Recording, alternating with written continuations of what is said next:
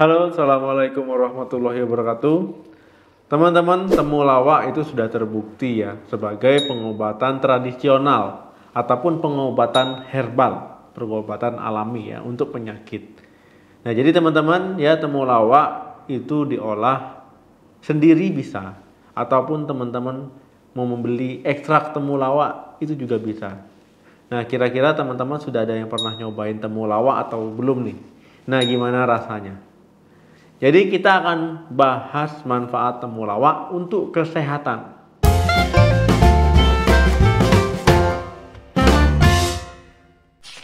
Temulawak ini mengandung kurkuminoid, minyak atsiri, pati, protein, lemak, selulosa, dan mineral yang bermanfaat untuk tubuh. Pati merupakan komponen terbesar dalam rimpang temulawak. Pati ini biasanya warnanya itu putih kekuningan ya karena mengandung kurkuminoid. Nah, sedangkan kurkuminoid ini sendiri itu adalah pemberi warna ya, warna kuning pada temulawak dan juga pada kunyit. Secara garis besar teman-teman ya temulawak itu memiliki tiga manfaat ya sebagai anti radang ya untuk mengurangi peradangan, pembekakan pada area tubuh, kemudian juga sebagai anti mikroba, Kemudian yang terakhir ya bisa meningkatkan produksi empedu. Nah, jadi teman-teman ya ada beberapa manfaat temulawak yang bisa kita dapatkan ketika mengkonsumsinya. Yang bisa teman-teman dapatkan ya ketika mengkonsumsinya. Nah, di antaranya yang pertama adalah obat anti radang. Teman-teman, temulawak ini memiliki efek ataupun manfaat sebagai anti radang. Ya, sehingga bisa menghambat zat ataupun senyawa yang memicu peradangan pada tubuh kita. Nah, jadi teman-teman kalau teman-teman memiliki masalah peradangan pada tubuh, misalkan nyari sendi ya, teman-teman sering nyari-nyari sendi, nah ini bisa mengkonsumsi temulawak ya untuk mengurangi peradangan pada sendinya. Kedua, mengatasi masalah sistem pencernaan. Teman-teman temulawak bisa meningkatkan produksi ya ataupun sekresi empedu Nah, ini bermanfaat untuk sistem pencernaan kita metabolisme makanan di tubuh. Kemudian temulawak bisa membantu melancarkan sistem pencernaan ya kalau teman-teman misalkan susah BAB.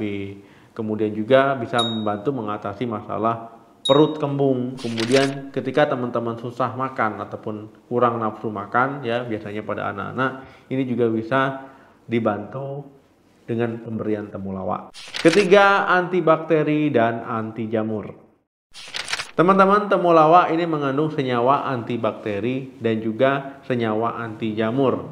Nah, jadi teman-teman, dengan mengkonsumsi temulawak ini bisa membantu mencegah dan juga membasmi ya penyakit yang disebabkan oleh bakteri, misalkan Staphylococcus ya, kemudian juga Salmonella. Dan juga begitu juga dengan jamur ya. Jamur ini dia efektif di jamur golongan dermatofita. Keempat, mengatasi osteoartritis. Teman-teman ya dengan mengkonsumsi temulawak ini bisa membantu mengatasi osteoartritis. Nah, osteoartritis ini biasanya dialami oleh orang yang usianya tua ya. Wanita yang usianya sudah tua ataupun laki-laki usia tua karena ini penyakit peradangan sendi degeneratif. Nah, jadi sendi-sendinya meradang ya paling sering adalah sendi lutut ya sama sendi panggulnya. Nah, teman-teman ya, untuk membantu mengatasi peradangan sendi akibat osteoartritis, teman-teman bisa mengkonsumsi temulawak.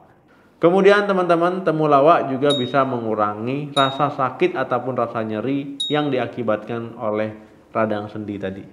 Kelima, antispasmodik. Teman-teman, temulawak ini memiliki manfaat sebagai antispasmodik. Nah, artinya ketika teman-teman mengkonsumsi temulawak, ini bisa merelaksasi otot polos ya, otot polos di usus. Nah, jadi mengurangi resiko otot polos usus teman-teman itu mengalami kejang. Misalkan pada orang yang mengalami IBS ya, irritable bowel syndrome. Nah, ini biasanya masalahnya pada kontraksi otot ususnya ya, otot usus besarnya. Nah, kalau orang yang IBS biasanya sering mengalami namanya masalah sakit perut. Ya, perutnya sering kram, sering mengalami diare, nah ataupun perutnya kembung. Dan tidak sedikit juga pada orang yang IBS itu mengalami sembelit. 6. Menjaga kesehatan hati. Teman-teman ya ekstrak temulawak ini bisa menjaga kesehatan hati teman-teman ya dari hepatotoksin. Hepatotoksin ini adalah di mana bahan kimia itu memiliki efek buruk terhadap hati ya terhadap kesehatan hati. Nah, jadi dengan teman-teman mengkonsumsi temulawak ini bisa melindungi hati teman-teman. Nah, jadi konsumsi temulawak merupakan cara alami teman-teman menjaga kesehatan hatinya ataupun livernya. 7. Obat jerawat Teman-teman, temulawak ini juga bisa digunakan sebagai obat jerawat. Nah, karena temulawak ini ada senyawa yang bisa mengurangi produksi minyak. Nah, kemudian temulawak ini juga ada sifat namanya antiseptik ya. Jadi bisa membantu membasmi ataupun mengurangi bakteri penyebab jerawat. Kemudian dengan mengkonsumsi temulawak juga, ini kan biasanya jerawat kan merah meradang gitu ya, karena ada efek ataupun manfaat anti radangnya ini bisa membantu meredakan peradangan pada muka teman-teman yang mengalami jerawat. 8. Obat diuretik. Teman-teman, temulawak bisa menjadi obat diuretik alami. Nah, di mana diuretik ini bisa mengeluarkan cairan di dalam tubuh teman-teman yang berlebihan ya melalui urin. Nah, dia merangsang sekresi natrium ke urin teman-teman. Nah, jadi mengurangi penumpukan cairan di tubuh teman-teman. Jadi cara kerjanya dia merangsang ginjal ya untuk produksi urin lebih banyak. Nah, jadi kalau teman-teman mengalami gagal jantung ya ataupun penumpukan cairan di kaki, di tangannya ya edema, nah itu juga bisa ya dibantu oleh temulawak tadi. Kemudian sebagai catatan, Ya kalau teman-teman mengkonsumsi temulawak janganlah sampai berlebihan ya, sewajarnya saja. Kalau mengkonsumsi ekstrak temulawak, ya teman-teman baca aturan pakai ya, bagaimana. Ya kemudian kalau teman-teman mengkonsumsi temulawak ya mengalami iritasi perut, ya kemudian malah timbul mual sampai muntah, ataupun teman-teman memiliki penyakit hati, ya ataupun penyakit gangguan empedu, misalkan batu empedu, nah itu teman-teman sebaiknya konsultasikan ke dokter karena temulawak tadi bisa memproduksi empedu ya, bisa meningkatkan produksi sekresi empedu. Nah, jadi takutnya nanti malah memperburuk keluhan teman-teman. Jadi boleh dikonsumsi dengan catatan wajar. Ya kalau teman-teman mengalami keluhan setelah mengkonsumsi temulawak ya sebaiknya konsultasikan ke dokter. Oke teman-teman, terima kasih yang sudah menonton video ini sampai habis.